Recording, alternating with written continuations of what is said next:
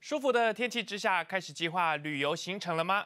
知名的航空业者看准了澳洲的旅游热潮，特别增加原本的美洲航班，让想要到澳洲大堡礁、黄金海岸的旅游商务的旅客有更多的选择。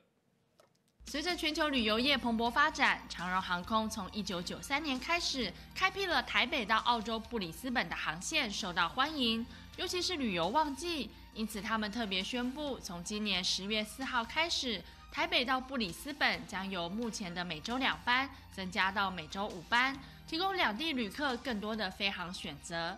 澳洲的气候舒适宜人，著名的黄金海岸、费沙岛。阳光、沙滩、自然生态以及可爱的无尾熊等等，是吸引观光客的主要原因。近年来，更有相当多的台湾年轻学子到澳洲打工度假、体验生活。长荣航空的增班将带给旅客更加便捷与灵活的行程安排。更多航班资讯，请至长荣航空网站查询。